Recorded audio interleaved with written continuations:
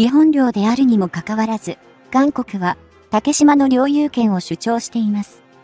2012年、平成24年8月10日、当時の大統領イミョンバク氏が上陸し、物議を醸したことがありました。日本は、未曾有の被害があった東日本大震災の翌年で、国内がまだまだ不安定な状況下でしたから、仮にも、一国のリーダーが、火事場泥棒的な行動をとったことに批判が噴出しましたね。さて、そんな竹島の領有権について急展開があったようですよ。当事国以外の国が竹島を日本領土だと認識している証拠が出てきたのです。この国はイギリスとオーストラリアです。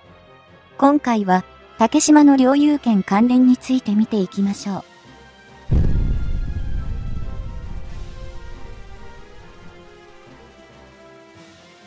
現在、日本の領土問題として認識されているのは、主に3つで、北方領土、ロシア、竹島、韓国名、独都、尖閣諸島、中国、台湾でしょう。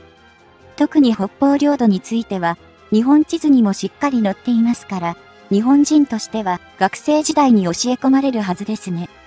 しかし、北方領土に関しては、政府もなかなか強気に出ず膠着したままです。買い取っても良いと発言したのは、田中角栄でしたか。その時代には政治家も解決しなくてはと真剣に考えていたのでしょう。最近は理由も述べず、交渉のテーブルから外した安倍元総理もいましたね。尖閣諸島への中国の圧力が非常に大きいので、嫌でも最大の係争地域として重要視せざるを得ない状況になっています。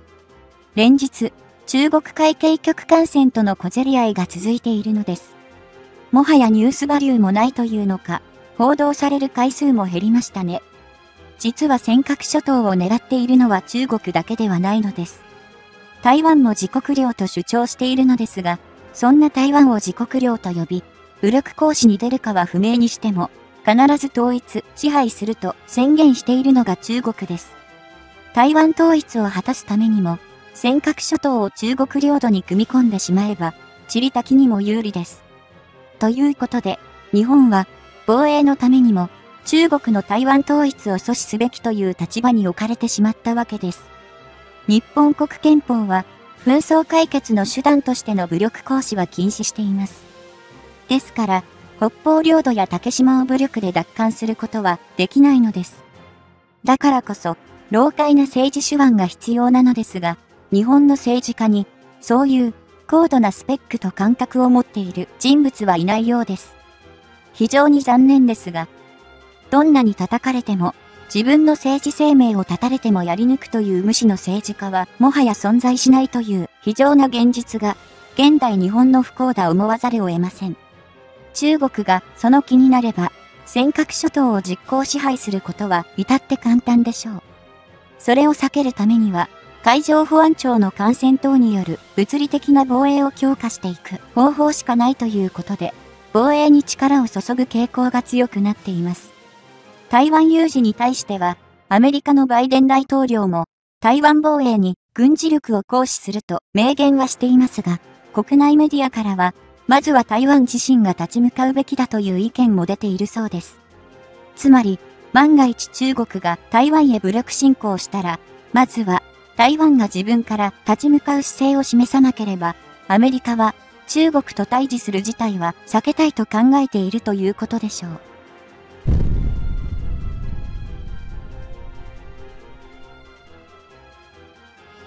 アメリカ自身が中国の攻撃を受けない限り、台湾有事や尖閣諸島でも、軍事介入は慎重に行うべきという世論が、アメリカ内に一定数存在しているということです。そして、これは日本にも適用されるという現実をアメリカ頼みしすぎる人たちは覚えておいてほしいものです。こうした状況下、前述の通り、竹島の領有権問題が急展開しました。日本側の主張を裏付けるイギリスやオーストラリアの公文書の存在が提示されたのです。2021年9月28日から霞が関の領土主権展示館で敗戦した日本がアメリカを中心とする西側連合国と締結したサンフランシスコ平和条約締結70周年記念として、新たな公文書が公開されていました。ここで歴史を振り返ってみましょう。1945年、昭和20年8月、敗戦した日本は、アメリカを中心とする連合国軍最高司令官総司令部 GHQ のマッカーサー元帥等の統治下に置かれ、7年間、1952年、昭和27年4月、その状態が続いたのです。マッカーサー元帥は、1945年9月、いわゆるマッカーサーラインを暫定的に設定、決められた中で、日本漁船の操業を認めましたが、韓国名で徳島と呼ばれる竹島は、日本側の枠外になっていました。とはいえ、マッカーサーラインは、あくまでも GHQ サイドの便宜的なものでした。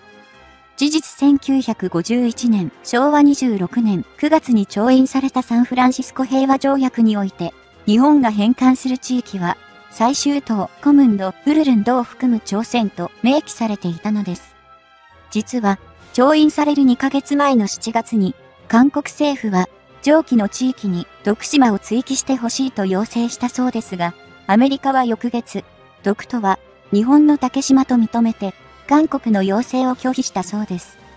当時、初代韓国大統領であった李承晩、李寸晩は、これ不服として、1952年1月に李寸晩ラインと呼ばれる境界線を引きました。マッカーサーラインの真似ですが、徳島を含めて引き、勝手に韓国領土に取り込んだのです。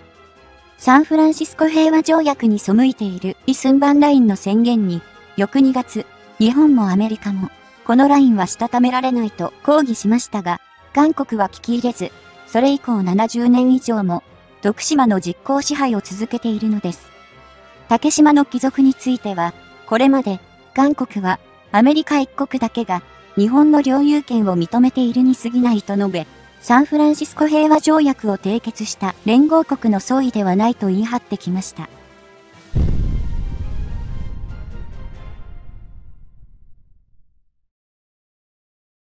しかし、今回の領土主権展示館で展示された1951年1月付のイギリス公文書には、竹島を日本領とするアメリカ案にイギリスが同調したことを連合国の一国であったオランダに示したとはっきり記載されていたのです。また、同年7月にオーストラリアの外務省が韓国プサンに駐在していた外交官に送った電報も展示していたのですが、その文書には従来の韓国側の主張を覆す内容が書いてあったそうです。具体的には、サンフランシスコ平和条約が定めた日本が破棄すべき島、最終島、巨群島、仏領島に、独島を加えるように韓国が要請したが、日本の破棄対象に独島を加えることを認めさせるため、韓国側は、地理上の位置を偽って要請したので、オーストラリアとしては容認できないという見解が示されていました。つまり、韓国は何とかして竹島を日本に放棄させようとしたということです。だから、韓国が言うように、竹島が日本領ではないという主張は、でっち上げということになりますね。この領土、主権展示館で掲示された日本の主張を強化するイギリスやオーストラリアの公文書に対し、韓国側は、どう出るかの見物ですが、おそらく、今まで同様、自分の都合の悪い事実は黙殺することでしょう。とはいえ、韓国側が史実を無視し続けると分かっていても、こういった地道な証拠や公文書の公開等によって、相手の主張へ抵抗し続けることには大きな意義があります。自国領でも一度実行支配されてしまえば、北方領土のように手も足も出なくなってしまうことは、日本政府も嫌というほど痛感しているはずです。公文書を掘り出すというのは目立たない、地味な活動ですが、続けることも大事でしょう。むしろ効果的ではないでしょうか。このような前例を無駄にすることなく、地道な政治的行動を期待したいものです。